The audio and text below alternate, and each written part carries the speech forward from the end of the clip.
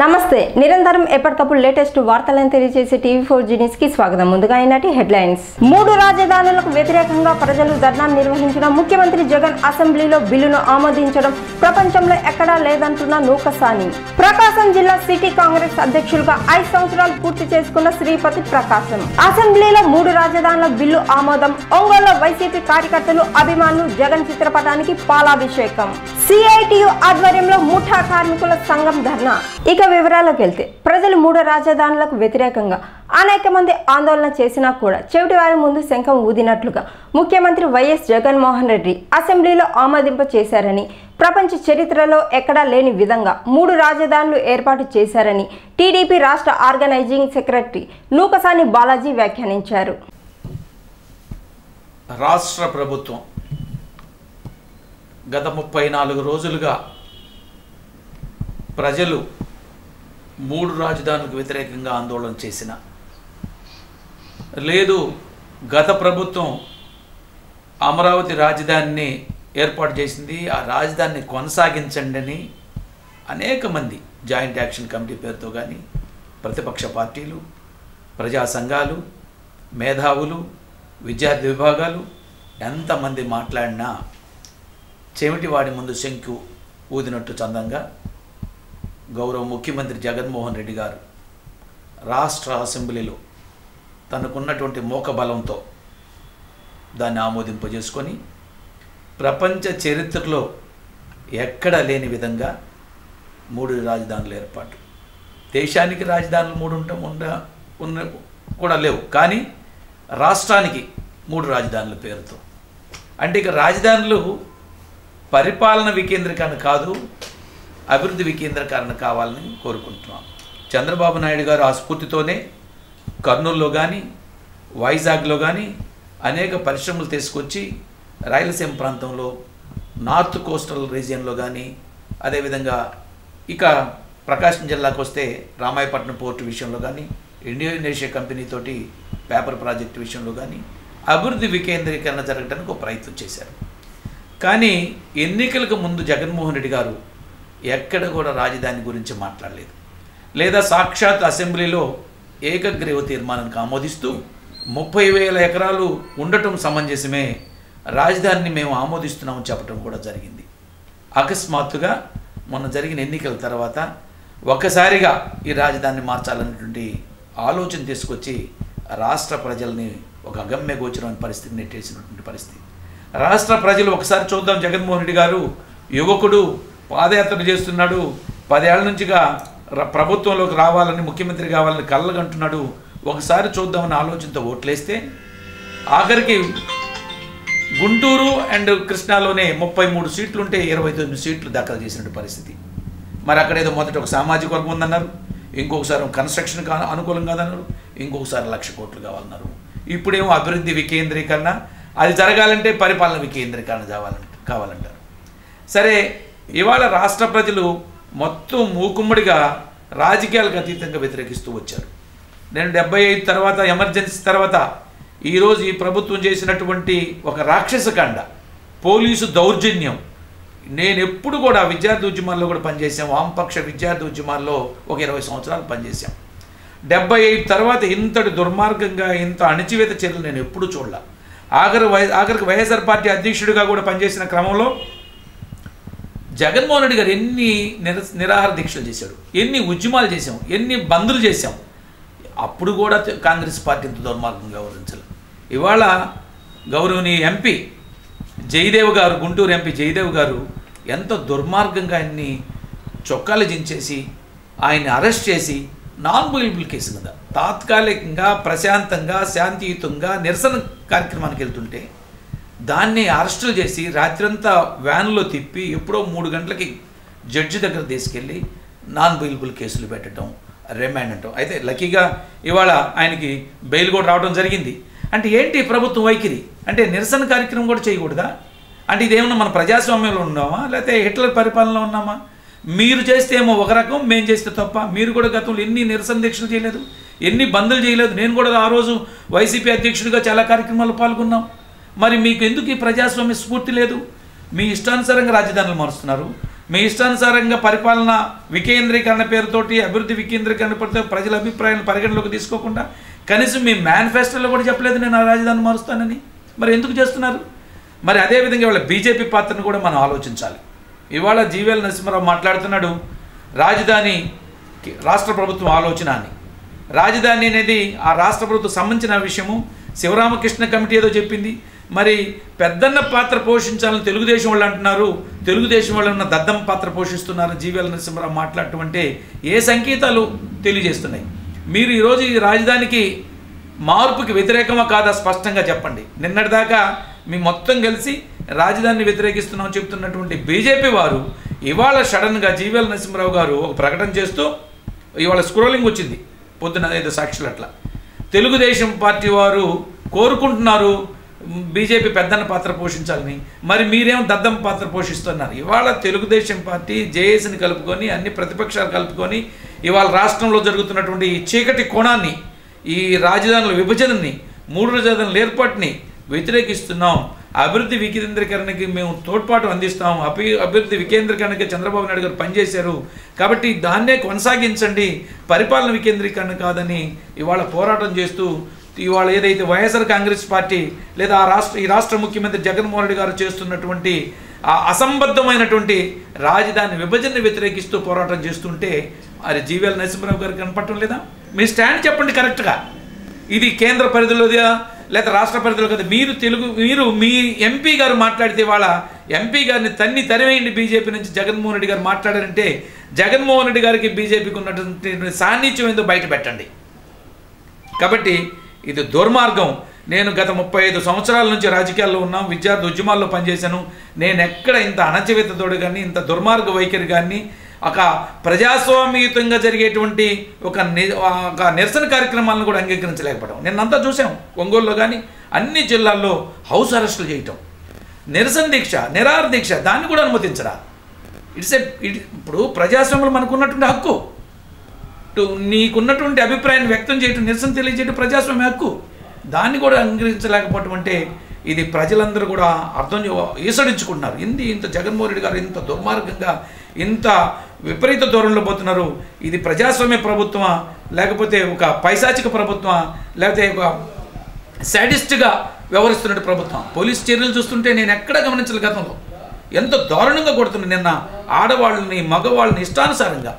ఆడవాళ్ళు చీరల్ని పొత్తి కడుపులోకి చేయబెట్టి చీరలు పట్టుకొని లాగేటువంటి పరిస్థితి. ఇంత దుర్మార్గం కొనసాగుతుందా? ముఖ్యమంత్రి గారు ఇవి చూడటం లేదా? గతంలో మీరు ఉద్యమాలు చేశారు నిరసన దీక్షలు చేశారు ఇవేనా మీరు చేయాల్సిన పని కాబట్టి ఈ యొక్క ఇప్పటికైనా ఈ మూడు రాజధానుల యొక్క ప్రతిపాదన విరమించుకోండి. రాష్ట్ర అసెంబ్లీ చేసినప్పటికీ ప్రజా యొక్క ప్రజల చూసి వ్యతిరేకతను అర్థం చేసుకోండి. బీజేపీ కూడా నాటకాలు కట్టిపెట్టి మీ ఆలోచన ముందుకు రండి. ఇవాళ జీవీఎల్ నరసింహరావు ఒక మాట మాట్లాడతాడు సునీల్ దియాదర్ ఇంకొక మాట మాట్లాడతాడు లేకపోతే రాష్ట్ర అధ్యక్షుడు ఒక మాట మాట్లాడతారు పవన్ కళ్యాణ్ దాన్ని వ్యతిరేకిస్తూ ఉంటారు పవన్ కళ్యాణ్ గారు బీజేపీ కలిసిపోతున్నారు. ఏంటి మీ వైఖరి కాబట్టి ప్రజలు కోరుకుంటున్నటువంటి అమరావతి రాజధాని పరిరక్షణ కోసం దాన్ని కొనసాగించాలని బీజేపీ వారు పవన్ కళ్యాణ్ స్పష్టమైన వైఖరిత రావాలి. రాష్ట్ర ప్రభుత్వం వాళ్ళు చేస్తున్నటువంటి అణచివేత ధోరణిని వెంటనే ఉపసంహరించుకోవాలి. ఒక ఎంపీ మీద చేసినటువంటి దాడి. అతను జైల్లో పెట్టడం అరెస్టులు చేయటం బెయిల్ లేకుండా చేయటం నాన్ బెయిలబుల్ కేసులు పెట్టడం ఈ దుర్మార్గ చర్యలందరినీ చర్యల్ని వ్యతిరేకిస్తున్నాం. ప్రభుత్వం ఇప్పటికైనా బేషరతుగా ఆడవాళ్ళ మీద మగవాళ్ళ మీద అక్రమ కేసులు పెట్టి ఆ కేసులన్నీ ఉపసంహరించుకోవాలి.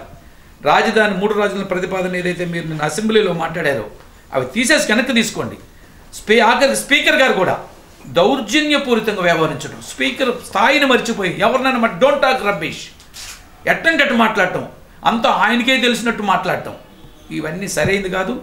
మీ ప్రభుత్వంలో ఉన్నటువంటి అసహనానికి ప్రతిబింబమే ఈ పోలీస్ చర్యలు కానీ మీ ఎమ్మెల్యేలు మాట్లాడేది కానీ ఏం తిడుతున్నారు? చంద్రశేఖర్ రెడ్డి అయితే బూతులు తిడతాడు. ఆయన ఎవరో నాని గారు గుడివాడ అక్కడ నుంచి పౌర సరఫరాల శాఖ మధ్యలో అసలు ఏం మాట్లాడతాడో తెలియదు రోజా గారు. ఇవన్నీ దేనికి సంకేతం? మీరు కనీసం డిఫరెన్స్ ఆఫ్ ఒపీనియన్ అంగీకరించలేకపోతున్నారు. గతంలో మీరెందుకు ఈ ఉద్యమాలు చేశారు? కాబట్టి జగన్మోహన్ రెడ్డి గారికి బ్రహ్మాండమైన మ్యాండేట్ ఇచ్చారు ప్రజలు. నూట యాభై ఒక్క సీట్లు ఇస్తే ఇదే మీరు చేయమంది? ఇదే రాష్ట్ర రాజధానులు విభజించటం? ఎక్కడో దక్షిణాఫ్రికాలో మూడు రీజియన్లు కలిస్తే అటు డచ్ వారు లేదా ఫ్రెంచ్ వారు రకరకాల వాళ్ళు కలిసినప్పుడు వాళ్ళ ప్రాతినిధ్యంగా మూడు రాజధానులు ఉంటే అక్కడుండే జాకబ్ జమ్మ తర్వాత వచ్చినట్టు నెల్సన్ మండేల తర్వాత వచ్చిన అధ్యక్షుడు ఇది సరైంది కాదు. దీని మీద డెవలప్ అసలు ఈ రాజధానుల పెర్ఫార్మెన్స్ ఏంటి? దీని యొక్క ఫలితం ఏంటి? దాని మీద ఒక ఎంక్వైరీ కమిటీ కూడా వేయటం జరిగింది. మరి దాన్ని ఉదాహరణగా తీసుకోవటం ఏంది వేలు వంకు పెడితే వెనరాదన్నట్టుగా మీరు కావాలని ఏదో ఇక్కడ చంద్రబాబు నాయుడు గారి బ్రాండ్ ఇమేజ్ ఏర్పడుతుందని లేతే వైజాగ్లో బిజినెస్ కోసము లేకపోతే అక్కడ ఉండేటువంటి ఆ ఇన్సైడ్ ట్రేడింగ్ ఏదైతే మీరు ఇక్కడ చెబుతున్నారో మీరు ఎనిమిది నెలలు ప్రభుత్వం కూడా ఎంక్వైరీ చేయండి తేల్చండి. అవి తేల్చకుండా మీరేదో వైజాగ్ వెళ్ళటానికి ము- ముందుగా అనుకున్నటువంటి ఒక ప్లాన్ ప్రకారం ఈ రాజధానుల విభజన పేరుతోటి అభివృద్ధి వికేంద్రీకరణ పేరుతోటి ఈ రాష్ట్రాన్ని అగోదపతి అగోదగతి పాలు చేయటం సరైంది కాదు. తక్షణం ఉపరించు ఉపసంహరించుకోండి. ఇవాళ జయదేవ్ మీద పెట్టినట్టు కేసులు కానీ జయదేవ్ గారిని చూపించి వాళ్ళ పోలీసు వారి చర్యలు కానీ అన్ని జిల్లాల్లో ఎక్కడ ఎప్పుడు గమనించినటువంటి పోలీస్ యాక్షన్స్ని ఈ ప్రభుత్వం చేయడం దుర్మార్గమైనటువంటిది. గతంలో మీరు చెప్పారు ఆంధ్ర పోలీసు నమ్మనని పోలీసు దుర్మార్గులని పోలీసు చర్యలు మంచి కాదని. అదే మీరు ఇవాళ చేయటం ఏంటి? కాబట్టి దీన్ని పూర్తి స్థాయిలో ఖండిస్తున్నాం. జీవీఎల్ నరసింహరావు గారు కూడా వ్యాఖ్యలు ఉపసంహరించుకోవాలి. కేంద్రం పెద్దన్న పాత్ర పోషించినట్టు సాక్షాత్తు ప్రధానమంత్రి మోడీ గారి చేత శంకుస్థాపన చేయించాం. కాబట్టి ఇవాళ కేంద్ర ప్రభుత్వం జోక్యం చేసుకోండి. రాష్ట్ర విభజనకు ఆ రోజు మీరు సహకరించారు. ఇది బీజేపీ వారు కాంగ్రెస్తో పాటు. కాబట్టి తర్వాత వచ్చినటువంటి అనేక చర్యల్లో మీ పాత్ర కూడా ఉంది. మీరు ఈ రాష్ట్రాన్ని అభివృద్ధి చేయాల్సింది పోయి రాష్ట్రానికి మీరు సహకరించాల్సింది పోయి మీరు ఇవాళ ఒక నాటకీయంగా రెండు పార్టీల మధ్య మీరు వేస్తున్నటువంటి ఆటలు సరైంది కాదు. జీవల్ నరసింహరావు ఏం మాట్లాడు స్పష్టంగా చెప్పండి. రాజధాని మారటం వైజాగ్కి కరెక్టా కాదా? మీ స్టాండ్ చెప్పండి. ఇవాళ తెలుగుదేశం పార్టీ అన్ని ప్రతిపక్ష పార్టీలను కలుపుకొని ఒక స్పష్టమైన పోరాటం చేస్తుంది. దాంట్లో ఎటువంటి డోకా లేదు. మరి మీరు ద- మేము దద్దమ్మ పాత్రలు లేము. మేము రాష్ట్ర భవిష్యత్తు కోసం రాష్ట్ర అభివృద్ధి కోసం రాష్ట్ర సంక్షేమం కోసం బడుగు బలహీన వర్గాల ఆకాంక్షలకు అనుగుణంగా రాష్ట్ర నడిమధ్యలో ఉన్నటువంటి అమరావతి పరిరక్షణ కోసం ఉద్యమిస్తుంది ఈ తెలుగుదేశం పార్టీ. మీ స్టాండ్ ఏదో చెప్పండి. ఇవాళ మీరు వైసీపీని సపోర్ట్ చేస్తున్నారా? రాబోయే భవిష్యత్తు రాజకీయాల దృష్ట్యా లేదా తెలుగుదేశం పార్టీని ఏదో ఇరకాటం పెట్టేసిన తర్వాత మళ్ళీ తెలుగు వైసీపీని తర్వాత ఏదైనా ప్రాబ్లం క్రియేట్ చేస్తూ వస్తున్నారా? మీరు రాజకీయాలు ఆడుతున్నారా? లేకపోతే రాష్ట్ర రాజ్యాన్ని కాపాడాలని చూస్తున్నారా? బీజేపీ వారు కూడా స్పష్టమైన కోరితో ముందుకు రావాలి. నేనైతే ఈ సందర్భంగా బీజేపీ వైఖరి వైఖరి స్పష్టంగా రావాలి. పవన్ కళ్యాణ్ బీజేపీ వైఖరులు స్పష్టంగా తెలియజేయాలి. ఇవాళ రాష్ట్ర ప్రభుత్వం చేసేటువంటి దమనకాండ ప్రజాస్వామికవాదులందరూ కూడా ఖండిస్తున్నారు. ఇంత దుర్మార్గమైన పరిపాలన ఎక్కడ చూడలేదు. మరి తక్షణం ఈ కేసుల్ని ఉపసంహరించుకోవాలి ప్రజాస్వామ్యయుతంగా చేసేటువంటి పోరాటాలకి ఎటువంటి ఆటంకాలకు పోలీసులు కల్పించకుండా ప్రభుత్వం చర్య తీసుకోవాల్సింది కోరుతూ ముగిస్తున్నాను. ప్రకాశం జిల్లా సీనియర్ కాంగ్రెస్ నాయకుడు శ్రీపతి ప్రకాశం సిటీ కాంగ్రెస్ అధ్యక్షులుగా బాధ్యతలను ఐదు సంవత్సరాలు పూర్తి చేసుకున్న సందర్భంగా జిల్లా కాంగ్రెస్ నాయకులు శ్రీపతి ప్రకాశంకి అభినందనలు తెలిపారు.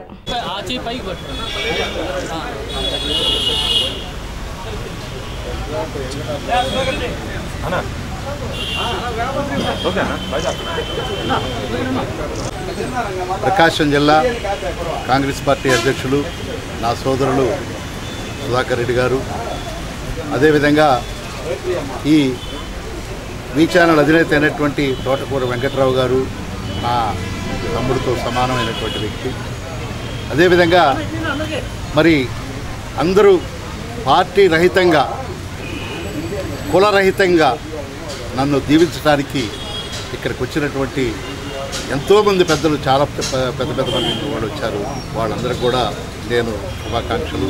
వారికి ధన్యవాదాలు తెలియజేస్తా ఉన్నాను. నా జీవితం కాంగ్రెస్ పార్టీతోటి ప్రయాణం స్టార్ట్ అయింది. యాక్చువల్గా చెప్పాలంటే పంతొమ్మిది వందల డెబ్భై రెండు నుంచి నేను కాంగ్రెస్ పార్టీలో పనిచేస్తూ ఉన్నాను. తర్వాత కాంగ్రెస్ పార్టీ నన్ను ఎంతో గౌరవించింది. నా స్థాయికి మించి నన్ను గౌరవించింది కాంగ్రెస్ పార్టీ. నా చివరి శ్వాస వరకు కూడా కాంగ్రెస్ పార్టీలోనే ఉండి కాంగ్రెస్ పార్టీకే నేను అంకితం అవుతానని చెప్పని నాకు ఈ అవకాశం ఇచ్చి నన్ను ఈ విధంగా నన్ను ఆశీర్వదించినటువంటి ప్రతి సోదరుడికి అదేవిధంగా ఒక మహిళ అని సుశీలమ్మ ఆమె కూడా కందుకూరు నుంచి ఆమె ఇక్కడికి వచ్చి నన్ను ఆశీర్వదించడానికి వచ్చింది. ముఖ్యంగా నా సోదరిమణికి కూడా నేను నమస్కారాలు తెలియపరుస్తూ మీరందరూ కూడా కాంగ్రెస్ పార్టీని ఆదరించండి. రాబోయే రోజుల్లో కూడా ఈ కాంగ్రెస్ పార్టీ అనేది ఒకటే ఈ దేశానికి శరణం అని చెప్పి చెప్పని చెప్తూ నాకు ఐదు సంవత్సరాలు ఈ యొక్క అధ్యక్ష పదవికి అందరూ సహకరించారు. నేను కొన్ని కొన్ని పర్యాయాలు కొంతమందిని కోప్పడ్డా కొంతమంది ఇదన్నా కూడా పెద్దవాడు అన్న అనేటటువంటి ఉద్దేశం మీదుగా పరిపూర్ణంగా సహకారాలు అందించారు. వారందరికీ కూడా కృతజ్ఞత తెలియపరుచుకుంటూ మరి ముఖ్యంగా తోటకూర వెంకట్రావు అన్నకి నేను చెప్పుకోవాల్సినటువంటి మనం ఏంటంటే ఒక పెద్ద మీటింగ్లో మా అన్న సత్యనారాయణ చనిపోయాడు. ఆయన స్థానంలో శ్రీపతి ప్రకాష్ వర్మ ఉంటున్నాడు. నా కుటుంబానికి ప్రతి విషయంలో కూడా నాకు ఆయన అన్నదండలుగా ఉంటున్నాడని చెప్పని నన్ను అనుకో జీవించినటువంటి వ్యక్తి ఆయన కూడా అదేవిధంగా ప్రతి విషయంలో నాకు ఆయన ఇస్తున్నటువంటి గౌరవానికి మరొకసారి నమస్కరిస్తూ సెలవు సోమవారం జరిగిన అసెంబ్లీ సమావేశంలో మూడు రాజధానుల బిల్లును ఆమోదించిన సందర్భంగా ప్రకాశం జిల్లా ఒంగోలులో వైసీపీ పార్టీ కార్యకర్తలు అభిమానులు మూడు రాజధానుల బిల్లుకు మద్దతుగా బైక్ ర్యాలీని నిర్వహించి అనంతరం ముఖ్యమంత్రి వైఎస్ జగన్మోహన్ రెడ్డి చిత్రపటానికి పాలాభిషేకం చేశారు.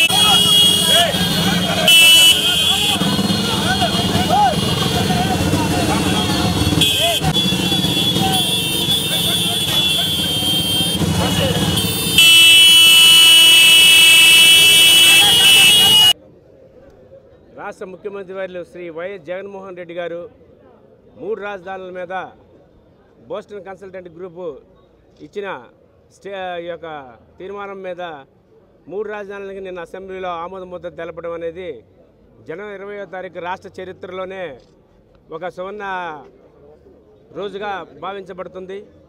ఒకసారి గమనించినట్టయితే ఈరోజు చంద్రబాబు నాయుడు గారు నానా యాగి చేస్తున్న చంద్రబాబు నాయుడు గారు ఈ రాష్ట్రం అధోగతి పాల్గొనడానికి మీరు కాదారా చంద్రబాబు నాయుడు గారు? రాష్ట్రం ఆ రోజు రెండు వేల పద్నాలుగులో మీరు నోటీస్ చేసి బైఫర్కేట్ చేశారు. ఆ రోజు రాష్ట్రం నాశనం అయిపోయింది. ఆ తర్వాత ప్రత్యేక హోదాకు తిలోదకాలు వచ్చి ప్రత్యేక ప్యాకేజ్ అని ఒప్పుకున్నారు. మీ పోలవరం ప్రాజెక్టు కోసం మీ కాంట్రాక్టుల కోసం ఒప్పుకున్నారు. కానీ చేయలేకపోయారు. ఈరోజు లక్ష తొమ్మిది తొమ్మిది వేల కోట్లు ఒక దగ్గరే పెట్టి రాజధానిని డెవలప్ చేయాలంటే బోస్టన్ కన్సల్టెంట్ గ్రూపు ముప్పై ఒక్క దేశాల యొక్క లక్ష కోట్లు పెట్టిన రాజధానులు తీసుకుంటే దాంట్లో రెండు రాజధానులే ఫిఫ్టీ పర్సెంట్ అభివృద్ధి సాధించినాయి. మిగతా ఇరవై ఎనిమిది ఒక పర్సెంట్ రెండు పర్సెంట్ మూడు పర్సెంట్గా పరిగణించబడి ఇవన్నీ మీకు తెలియదా నలభై సంవత్సరాల సుదీర్ఘ సుదీర్ఘ రాజకీయ చరిత్ర కలిగిన మీరు అక్కడున్న ప్రజలని వాళ్ళ మనోభావాల మీద రెచ్చగొట్టి ఈరోజు మీరు ఒక నీచ రాజకీయం చేస్తున్నారంటే అది ప్రజలందరూ హర్షించారు చంద్రబాబు నాయుడు గారు. అతి చిన్నవాడైన జగన్మోహన్ రెడ్డి గారు తీసుకున్న నిర్ణయం పదమూడు జిల్లాల ప్రజలు అశాంతి వ్యతిరేకాలు ఈరోజు నిన్న ఈరోజు చేస్తున్నారంటే దానికి కారణం చిన్నవాడైనా ఒక ముందు చూపుతో పదమూడు జిల్లాలు అభివృద్ధి చెందాలి అభివృద్ధి ఒక దగ్గరే ఉంటే ప్రజలు స- ఇబ్బంది పడతారనే ఉద్దేశం తీసుకుని నిర్ణయాన్ని మీరు సమర్థించాల్సింది పోయి మీరు నానా యాగి చేసి దానికి తార్కాణంగా మీ భార్య భువనేశ్వరి గారు రెండు గాజులు కూడా దానం చేయడం అనేది ఎంతవరకు సమంజసమని ఈ సందర్భంగా అడుగుతున్నాము. వధువు తుఫాను విశాఖపట్నంలో వస్తే ఆ రోజు బయటికి బయటకు వచ్చి రెండు గాజులు ఎందుకు ఈలాపోయిందో భువనేశ్వరి గారు? లైలా తుఫాన్లు వచ్చి వరదలు వచ్చి ఉధృతంగా ప్రజలు నాశనం అయినప్పుడు ఎక్కడికి పోయారు మీరందరూ? ఈరోజు ఏం జరుగుతుందని అమరావతికి రెండు గాజులు ఇచ్చి మీరు ఎంకరేజ్ చేస్తున్నారు? అక్కడ ఉన్న ప్రజల యొక్క ఏదన్నా వాళ్ళకి సంకోచాలుంటే సంకోచాలు ఉంటే మీరు తీర్చి చిన్నవాడైన జగన్మోహన్ రెడ్డి గారు తీసుకున్న నిర్ణయానికి మీరు సపోర్ట్ పలకాల్సింది పోయి ఈరోజు రోజుకొక విధంగా జోలెత్తుతూ ఒక సినిమా యాక్టర్ ఒక డ్రామా లాగా నువ్వు ప్రవర్తిస్తున్నావంటే రాష్ట్ర ప్రజలు ఇప్పుడు ఒక నీచమైన రాజకీయ నాయకుడిని నీళ్ళు చూస్తున్నారు కానీ ఒక పద్నాలుగు సంవత్సరాలు మీ ముఖ్యమంత్రి చేసిన నాయకుడిగా పరిగణించడం లేదని చెప్పి చంద్రబాబు నాయుడికి తెలియజేస్తున్నాం. ఇప్పటికైనా మేము చెప్పేది ఏంటంటే అభివృద్ధి వికేంద్రీకరణ అనేది రాష్ట్ర ప్రజలకు చాలా అవసరమైన దిశ అది. క్రీపింగ్ ప్లాంట్ లాగా అది ఒక దగ్గరే ఉండకుండా పదమూడు జిల్లాలకి అభివృద్ధిని వికేంద్రీకరించాలని చెప్పి జగన్మోహన్ నిర్ణయాన్ని ఈరోజు పదమూడు జిల్లాల ప్రజలు చాలా సంతోషదాయకంగా హర్షిస్తున్నారని చెప్పి ఈ సందర్భంగా తెలియజేస్తూ ఇప్పటికైనా చంద్రబాబు నాయుడు గారు ఇప్పటికైనా మేలుకొని జగన్మోహన్ రెడ్డి గారు తీసుకున్న నిర్ణయానికి మీరు మా సమ మీరు తనకి సపోర్ట్ చేయాల్సిందిగా ఆంధ్రప్రదేశ్ ముఖ్యమంత్రి వైఎస్ జగన్మోహన్ రెడ్డి గారు ప్రవేశపెట్టిన బిల్లు ఏదైతే పాలన రాజధానిగా మరి అమరావతి అదేవిధంగా శా శాసన రాజ రాజధానిగా అమరావతి పాలన రాజధానిగా విశాఖపట్నం న్యాయ రాజధానిగా కర్నూలుని అందరూ సభ్యులందరూ కూడా ఆమోదించి బిల్లు పాస్ చేయడం జరిగింది. దీనికి జిల్లా అన్ని రాష్ట్రంలోని పదమూడు జిల్లాల్లోని అన్ని వర్గాల వాళ్ళు అన్ని వ్యక్తులు ప్రజలు అందరూ కూడా హర్షం వ్యక్తం చేస్తున్నారు. ఎందుకంటే గతంలో కూడా మనం హైదరాబాద్ చూసాం. ఒకే చాట మన పాలన రాజధానిగా పెట్టినప్పుడు ఏ విధంగా ప్రజలంతా మరి విడిపోయినప్పుడు ఇబ్బంది పడ్డారో అటువంటిది రాకుండా మరి మేధావులు ఎవరైతే రకరకాల కమిటీలు కిస్టన్ కమిటీ కానీ మరి బోస్టన్ కమిటీ కానీ ఏదైతే సూచించిందో దాన్ని మరి ఫాలో అవుతూ జగన్మోహన్ రెడ్డి గారు ఈరోజు తీసుకున్న నిర్ణయాన్ని ప్రజలంతా ఇది చాలా శుభపరిణామము. పరిణామము నిన్నటి వరకు అమరావతి రాజధానిగా ఒక ఒక కులానికే సంబంధించి ఒకే విధంగా రాజధానిలో పరిపాలన జరుగుతూ వచ్చింది. మన బుగ్గన రాజరా- రాజ రాజ- రాజేంద్రనాథ్ రెడ్డి గారు ఒకటే చెప్పారు. నూట ముప్పై బిల్డింగ్స్ ఉంటే నూట ముప్పై బిల్డింగ్స్లో ఎనభై బిల్డింగ్స్ సర్వే చేస్తే నీ నీ నీ కులానికి సంబంధించిన వాళ్ళకి నీ నీకు సంబంధించి నీ పార్టీకి సంబంధించిన వాళ్ళకి ఎనభై బిల్డింగులు రెంట్లు కడుతున్నారు. ఈ విధంగా మీరు పరిపాలనని నీ నీకు సంబంధించిన వాళ్ళకి చేసుకుంటా వెళ్ళిపోతున్నారు. అదేవిధంగా జగన్మోహన్ రెడ్డి గారు ఈరోజు తీసుకున్న జగన్మోహన్ రెడ్డి గారు ఈరోజు తీసుకున్న ఈ శుభపరిణామం నేను ఒకటే అడుగుతున్నా. సమైకేంద్ర ఉద్యమం ఇంకా బలంగా ఉండేది కదా మీరు కూడా సపోర్ట్ ఇచ్చిండుంటే అదేవిధంగా పవన్ కళ్యాణ్ గారిని కూడా ఒకటే అడుగుతున్నాను. సార్ మీరు తెలు హైదరాబాద్లో మీరు ఉద్యమం చేస్తే ఎక్కడ మిమ్మల్ని కేసీఆర్ గారు తెగ్గొడతారో అనే భయ భయంతో ఈరోజు మీరు నిన్నటిదాకా పట్టించుకున్న ఈరోజు నన్ను ఐదు గంటలు బంధించారు పది గంటలు బంధించారని వాపోతున్నారు.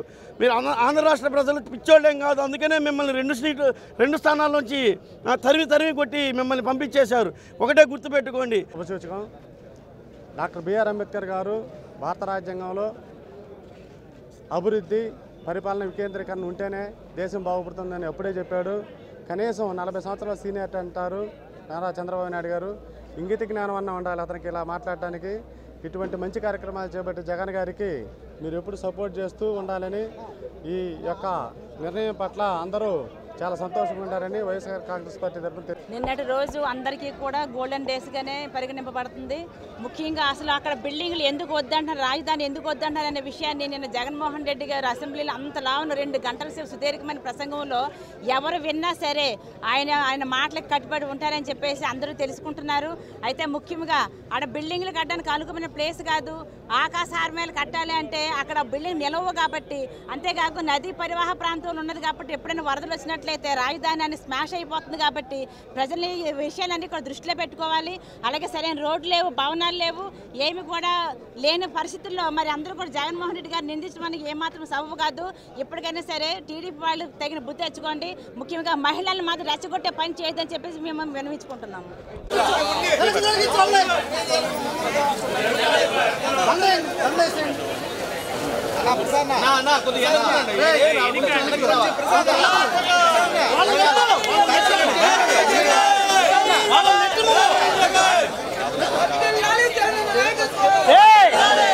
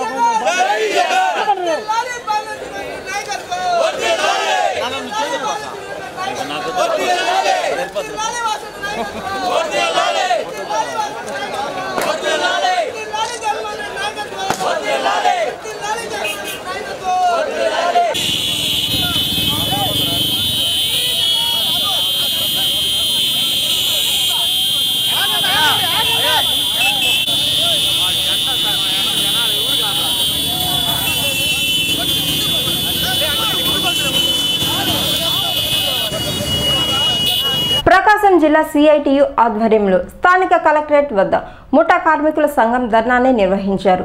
ముఠా కార్మికుల కూలీ రేట్లు పెంచాలని సిఐటియు జిల్లా అధ్యక్షులు సిహెచ్ మధుల్దార్ తెలిపారు. ఆ కొంత నయమైంది. కానీ కూడా పనిరాని పరిస్థితి ఉంది. దాదాపు అనేకమైన దాదాపు మన దగ్గర పదివేలు ఇస్తే ఆ కుటుంబానికి ఎటు కూడా సరిపోదు. కాబట్టి మన అందరూ కూడా ఈఎస్ఐ సౌకర్యం కల్పించాలని చెప్పి ప్రభుత్వాన్ని అడుగుతున్నాం. ఈరోజు ఈఎస్ఐ గతంలోనే మనకు అవకాశం ఉంది. కోర్టు గవర్నమెంటే కాబట్టి ఆ కేసుల్ని ఉపసంహరించాలని చెప్పి అందువల్ల ఈ సమస్యల మీద మన ఎండి గారు కలిసాం.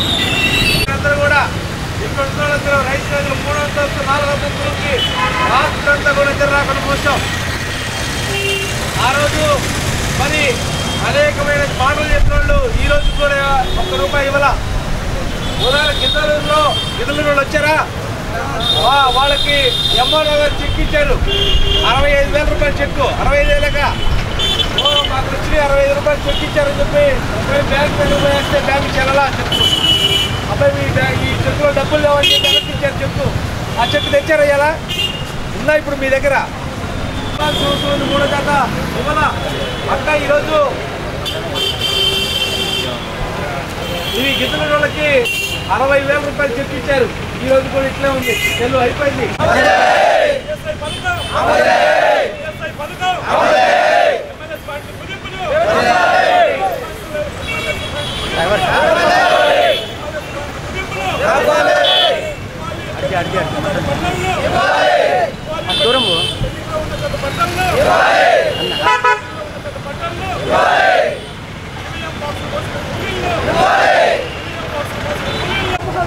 పేద ప్రజానీకానికి పంపిణీ చేసే పౌర సరఫరాల శాఖ ద్వారా పంపిణీ చేసే బియ్యం పంచదార కందిపప్పుని మరి వారి భుజాల మీద మోసి గ్రామీణ ప్రాంతాల్లో పట్టణ ప్రాంతాల్లో పేదలకు సరఫరా చేసే హమాలీ కార్మికులకు సమస్యల పరిష్కారం చేయాలని చెప్పేసి ఈరోజు కలెక్టరేట్ వద్ద ధర్నా జరుగుతోంది దీంట్లో ముఖ్యంగా ప్రతి రెండు సంవత్సరాలకు కూడా హమాలి కార్మికుల కూల్ రేట్లు పెంచాల్సిన అవసరం ఉంది. ఇప్పుడు డిసెంబర్ తోటి ఒప్పందం ముగిసింది. వెంటనే కూల్ రేట్లు పెంచాలని చెప్పేసి మేము కోరుతా ఉన్నాం. రెండవది ముఖ్యంగా ప్రకాశం జిల్లాలో గత సంవత్సరం ఏప్రిల్ పదకొండవ తేదీన ఎన్నికలు జరిగిన సందర్భంలో హమాలి కార్మికులందరూ కూడా మరి రైస్ కాలేజీలు అనేక కాలేజీల్లో ఈవీఎం బాక్సుల్ని మరి రాత్రంతా కూడా నిద్రపోకుండా ఇలా వచ్చిన లారీల నుంచి ఈవీఎం బాక్సులు మోసి మరి వాళ్ళ కూలి దానికి సంబంధించిన కూలి డబ్బులు ఇంతవరకు కూడా ఇవ్వలేదు. ఎన్నికలైపోయి ప్రధానమంత్రులు ముఖ్యమంత్రులు అయ్యారు. ఆ యొక్క కూలీని వెంటనే హమాలి కార్మికులు ఇవ్వాలని చెప్పి ప్రభుత్వాన్ని మేము కోరుతా ఉన్నాం. మూడోది ఈ జిల్లాలో పంతొమ్మిది సివిల్ సప్లై హమాలి పాయింట్లు ఉంటే ఈరోజు వాటిని పదిహేను కుదించారు నాలుగు పాయింట్లు. జిల్లాలో ముళ్ళమూరు పొదిలి అట్లే మద్దిపాడు మరి టంగుటూరు ఈ నాలుగు ప్రాంతాల్లో కూడా కుదించారు. పాత ఎమ్మెల్యేస్ పాయింట్లు కొనసాగించాలని చెప్పేసి మేము కోరుతా ఉన్నాం. జిల్లాలో అమాలి కార్మికులకు ప్రతి సంవత్సరం కూడా రెండు సంవత్సరాలు మూడు జతల బట్టలు ఇస్తారు. మన జిల్లాలో మాత్రమే రెండు జతలు ఇచ్చి ఒక జత ఇవ్వాలి ఈ రోజు కూడా ఇవ్వలేదు. కొత్త సంవత్సరం వచ్చింది. వెంటనే అమాలి కార్మికులు ఇవ్వాల్సిన బట్టలు కూడా ఇవ్వాలని చెప్పి జిల్లాలో అమాలి కార్మికులకి మరి తగినంత పని కూడా కల్పించాలని చెప్పేసి ప్రభుత్వానికి మేము కోరుతున్నాం. జిల్లా అధికారులు జోక్యం చేసుకొని ముఖ్యంగా ప్రకాశం జిల్లా కలెక్టర్ గారు జేసీ గారు జోక్యం చేసుకొని ఈవీఎం బాక్సులు మోసిన కూలీని వెంటనే ఇప్పించాల్సి అని చెప్పి మేము కోరుతా ఉన్నాం. సిహెచ్ మజుందార్ సిఐటి జిల్లా అధ్యక్షులు. ఈ వార్తలు ఇంతటితో సమాప్తం. తిరిగి మళ్ళీ నెక్స్ట్ బులెటిన్లో మళ్ళీ కలుద్దాం. అంతవరకు always watching T four genius